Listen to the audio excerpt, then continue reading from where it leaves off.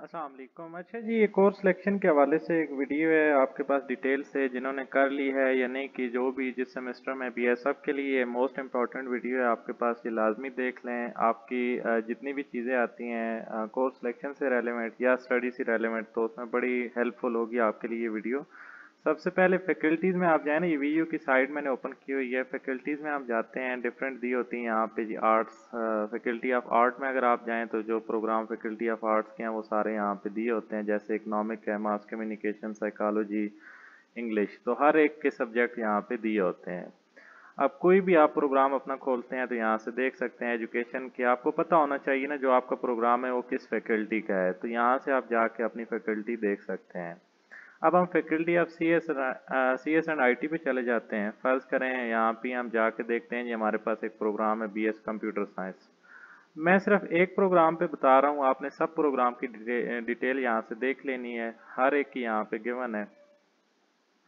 जितने भी प्रोग्राम है, हम सब की आपके पास, एक तो इनका इंट्रोडक्शन दिया होता है, ये प्रोग्राम है क्या, इसके ऑब्जेक्टिव क्या क्या हैं, ये बेसिकली किस लिए बनाया गया है, इसकी एलिजिबिलिटी क्राइटेरिया क्या है, वो यहाँ पे डिफाइन होता है। हाँ ट्वेल्व ईयर एजुकेशन वालों का अलग है, फोर्टीन ईयर का अलग है, दोनों यहाँ पे दी हुई हैं। कोर्स एग्जामेशन इसमें अलाउ है या नहीं? मतलब जो बीए या बीएससी के बाद इस प्रोग्राम में दाखिला लेना चाहे तो ले सकता है या नहीं ले सकता। तो ये कोर्स एग्जामेशन है, ड्यूरेशन इसका है, वो भी यहाँ पे दिया हुआ है, आप इसको पढ़ सकते हैं। मेन चीज़ आपकी जो है वो है स्टडी स्कीम। स्टडी स्कीम में जैसे ही आप जाते हैं ना, यहाँ पे आपको इसने तमाम सब्जेक्ट दिए होते हैं। ये अहम चीज़ आपको इसलिए दिखाई जा रही है कि यहाँ पे आप एक चीज़ मिसिंग कर जाते हैं। ये प्री रिक्विजिट कुछ सब्जेक्ट आ रहे होते हैं आम अल्फाज में तो इसे एक आप शर्त कह सकते हैं। भाई ये आ, किसी सब्जेक्ट के लिए कोई कंपलसरी सब्जेक्ट तो नहीं है। ये जो पहले सब्जेक्ट आपने देखे हैं इनमें कोई भी नहीं आ रहा। दूसरे सेमेस्टर में आप जैसे ही जाएँ प्री रिक्विजिट में आप देखें दो किताबें आ रही हैं। इंग्लिश टू ज़ीरो वन है। अब one O one prerequisite है, इसका मतलब ये है कि ये किताब आपकी क्लियर होगी, तब ही आप जिसे कहें ये किताब सेलेक्ट कर पाएँगे कोर्स सिलेक्शन से। जैसे आप देखें आप मैथ थ्री ज़ीरो वन आ रहा है एम टी एच थ्री अगर M T H one fail है तो ये आप कथन सेलेक्ट नहीं कर सकते। ये रूल के अंदर डिफाइन है, ये प्री रिक्विजिट इसलिए यूनिवर्सिटी की पॉलिसी है, जो दी हुई है, उससे रूल कभी भी चेंज नहीं होता। है इसी तरह आप जाएँ थर्ड सेमेस्टर में यहाँ पे जी C S two zero one जो है, इनके लिए दी गई है दो सब्जेक्ट के लिए और एक के लिए C S one O one ये प्री रिक्विजिट सिंपल अल्फाज में आपको अगर समझाएँ तो ये ये है कि आपका ये सब्जेक्ट अगर आपने सेलेक्ट करना है तो आपकी ये बुक पास होना ज़रूरी है। अगर ये पास नहीं है तो आप ये बुक सेलेक्ट नहीं कर सकते, जो कि आप साइड से ना कभी देखते नहीं हैं। ये इसलिए वीडियो बनाई है ताकि आप इस चीज़ को देख लिया करें, क्योंकि ये आपके एलएमएस के अंदर माई स्टडी स्कीम में नहीं दिया होता।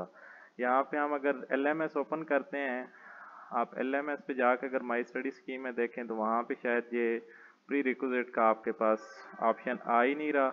यहाँ पे ये नहीं दिया होता। तो ये आपने वेबसाइट से जिनका जो भी प्रोग्राम है अपना अपना देख सकते हैं।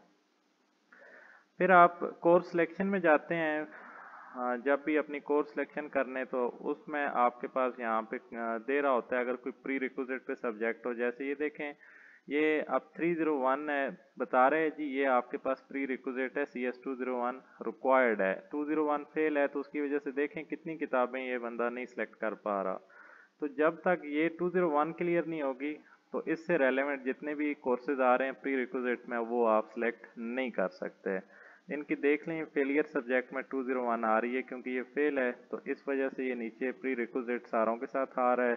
जो जो आप देखें 301 फेल है तो उसका भी ये नहीं सिलेक्ट करने दे रहा। आप क्लिक करके देख लें शो ही नहीं हो रहा।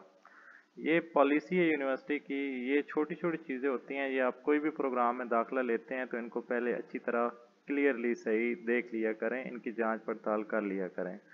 क्रेडिट आर्ट का आपको यहाँ पे अब टोटल 132 इन्होंने करने हैं। आप कुछ के 134 होते हैं सब्जेक्ट के, कुछ के 136 आ रहे होंगे। तो ये जब तक, अभी इनके 57 हुई हैं। जब तक इनके ये कंप्लीट नहीं होगा, उस वक्त तक इनको डिग्री अलाउ नहीं होगी।